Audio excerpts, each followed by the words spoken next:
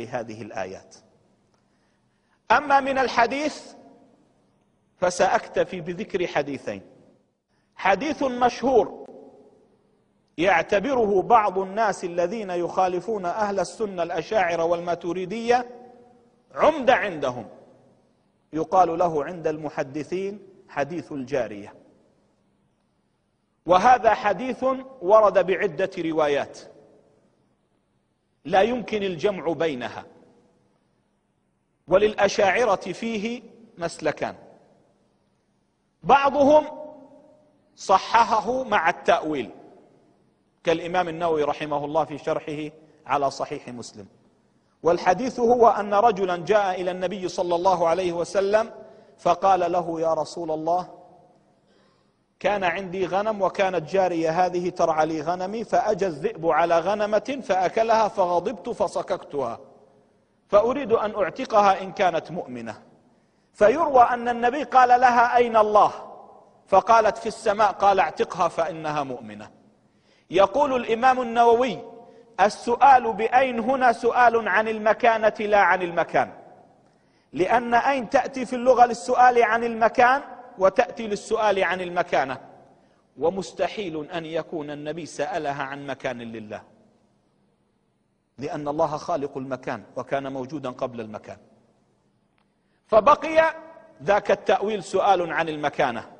وقولها في السماء أي رفيع القدر جدا. وهذا معروف عند العرب. لذلك قال النابغ الجعدي أمام الرسول صلى الله عليه وسلم بلغنا السماء مجدنا وسناؤنا وإنا لنرجو فوق ذلك مظهرا. فقال له النبي إلى أين المظهر يا أبا ليلى؟ قال إلى الجنة يا رسول الله. قال أجل إن شاء الله. فهنا السماء أريد به رفعة القدر ولم يرد به أن الله محصور في السماء. كيف يحصر الخالق بشيء هو خلقه؟ هذا لا يجوز. أما القسم الآخر من الأشاعرة فقالوا هذا الحديث لا حجة به في الصفات. وهذا القول الأصوب. لماذا؟ قالوا لأن الرسول صلى الله عليه وسلم ذكر في الحديث الذي رواه الشيخان وهو متواتر رواه خمسة عشر صحابيا عن رسول الله صلى الله عليه وسلم. قال أمرت أن أقاتل الناس حتى يشهدوا أن لا إله إلا الله وأني رسول الله. فبين أن طريقة الدخول في الإسلام النطق بالشهادتين. فيستحيل على رسول الله أن يحكم لإنسان بأنه مسلم لمجرد أنه قال الله في السماء.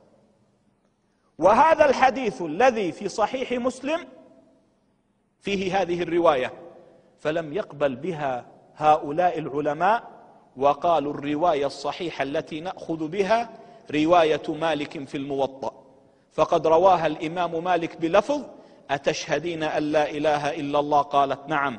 قال لها الرسول أتشهدين أني رسول الله؟ قالت نعم. قال اعتقها فإنها مؤمنة. هذه الرواية موافقة للأصول. ويقول الإمام الشافعي إذا ذكر الحديث فمالك النجم. إذا ذكر الحديث فمالك النجم. يقول الإمام أبو بكر الخطيب البغدادي الذي قيل فيه إن المؤلفين في كتب الحديث دراية عيال على كتبه. لا يقبل الحديث الصحيح إذا عارض الحديث المتواتر ولم يقبل تأويل.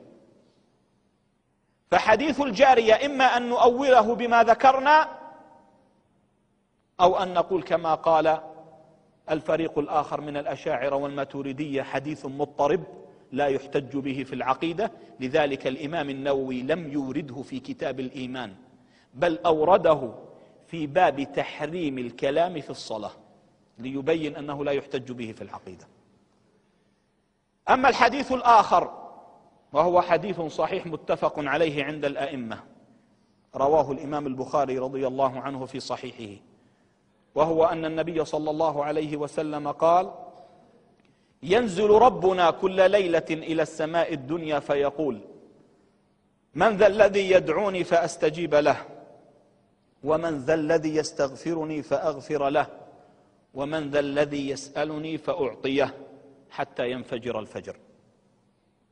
هذا الحديث يقول علماء المسلمين من الأشاعرة والماتوردية كما قال الحافظ ابن حجر العسقلاني وهو أشهر من شرح صحيح البخاري.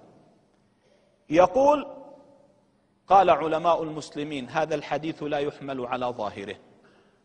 ينزل ربنا المراد به إما أن نقول كما قال السلف ومنهم ورأسهم الإمام مالك بن أنس رضي الله عنه. لما سئل عن هذا الحديث قال نزول رحمة لا نزول نقلة.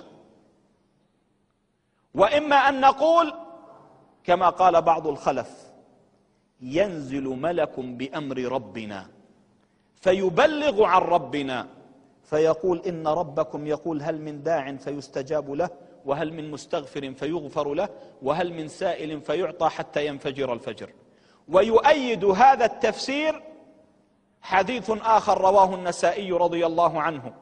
أن النبي صلى الله عليه وسلم قال إن الله يمهل حتى إذا مضى شطر الليل الأول أمر مناديا فينادي إن ربكم يقول هل من داع فيستجاب له. ويقول الحافظ العراقي وخير ما فسرته بالوارد. حديث الرسول يفسره حديث الرسول. الآية تفسرها الآية. ويقول الإمام ابن حجر نقلا عن ابن فورك نقلا عن أبي بكر بن العربي عن ابن فورك الأشعري المعروف. قال ضبطه بعض مشايخنا بضم أوله. ينزل ربنا بضم الأول. وإذا ضم ضمت الياء فالمعنى ظاهر واضح. أما الذي لا يرضى بهذا الكلام وهو كلام أهل السنة ويقول لا الله موجود في جهة فوق في الثلث الأخير من الليل ينزل إلى السماء الدنيا. يقال له الليل يختلف باختلاف البلاد. فالليل في الجزائر نهار في بلد آخر. فإن حملت هذا الحديث على ما تقول جعلت الله نازلا إلى السماء الدنيا طالعا إلى العرش نازلا إلى السماء الدنيا طالعا إلى العرش كل لحظة من لحظات الليل والنهار. وهذا لا يقول به ذو لب وتحصيل فلا بد أن تمشي مع ما ذكره العلماء. ثم النبي يقول في الحديث الصحيح الذي رواه ابن حبان في صحيحه ما السماوات السبع في جنب الكرسي إلا كحلقة مرمية في فلاة من الأرض وفضل العرش على الكرسي كفضل الفلاة على الحلقة. يعني السماوات بالنسبة إلى العرش مثل نقطة بحر. فالذي يقول ينزل الله بذاته هو فوق العرش كما يقول البعض وينزل بذاته يقال له أمامك أمرين وكلاهما لا يجوز. إما أن تقول أن الله يتضاءل يتضاءل يتضاءل حتى يصير تسعه السماء وإما أن تقول أن السماء تمتد وكلا الأمرين نقطع بأنهما لا يجوزان فبقي ما ذكره الأشاعر والماتوريدية أن الله ينزل ملكا بأمره. هذه عقيدة الأشاعر وهذا دورهم في الدفاع عن الشريعة الإسلامية. ولذلك كان الغوث الإمام الولي الصالح العارف بالله سيدي ومولاي الغوث أبو مدين رضي الله عنه وأرضاه كان على هذه العقيدة. فقد ذكر في عقيدته وهي مخطوطة في المكتبة الوطنية بباريس تحت رقم خمس ثمانية خمس أربعة يقول رضي الله عنه وأمدنا بأمداده الحمد لله الذي تنزه عن الحد والأين والكيف والزمان والمكان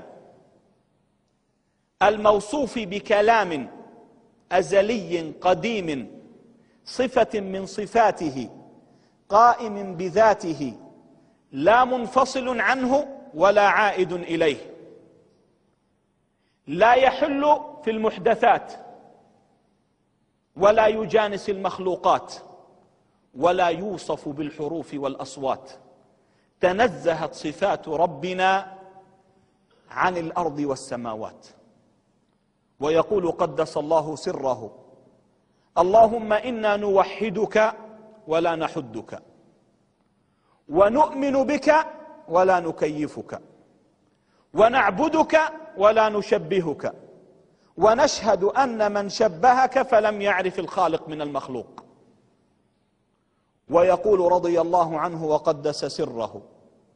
القدوس على العرش استوى. من غير تمكن ولا جلوس. العرش له حد ومقدار والله لا تدركه الأبصار. العرش تكيفه الخواطر والعقول وتصفه بالعرض والطول وهو مع ذلك محمول والله لا يحول ولا يزول. ويقول رضي الله عنه وقدس سره وأمدنا بأمداده. العرش بنفسه المكان. وله جوانب وأركان. وكان الله ولا مكان. وهو الآن على ما عليه كان. ليس له تحت فيقله. ولا فوق فيظله. ولا جوانب فتعدله. ولا خلف فيسنده. ولا أمام فيحده. هذا الإمام الجليل. الذي كان على ما كان عليه من الأشاعرة. ما كانت عليه الأشاعرة والماتريدية. فهؤلاء هم الأشاعرة الذين حموا الدين. وأقول وأختم كلامي بالقول البيهقي أشعري المعتقد. وابن عساكر الإمام المعتمد. قد كان أفضل المحدثين في عصره بالشام أجمعين. كذلك الغازي صلاح الدين من كسر الكفار أهل المين جمهور هذه الأمة الأشاعرة حججهم قوية وسافرة. أئمة أكابر أخيار لم يحصهم بعدد ديار. قولوا لمن يذم الأشعرية؟ نحلتكم باطلة ردية والماتريديه معهم في الأصول وإنما الخلاف في بعض الفصول. كالخلف من عائشة للبحر لرؤية النبي رب الفجر ليلة معراج النبي الطاهر الصادق المصدوق بالأوامر. فهؤلاء الفرقة الناجية. عمدتهم السنة الماضية. قد جمعوا الإثبات والتنزيه ونفوا التعطيل والتشبيه. فما تريدي أشعري وإن شئت قل. الأشعري ما تريدي لا تبل. ورحم, ورحم الله تبارك وتعالى الإمام القشيري حين قال شيئان من يعذلني فيهما فهو على التحقيق مني بري حب أبي بكر إمام الهدى ثم اعتقادي مذهب الأشعري.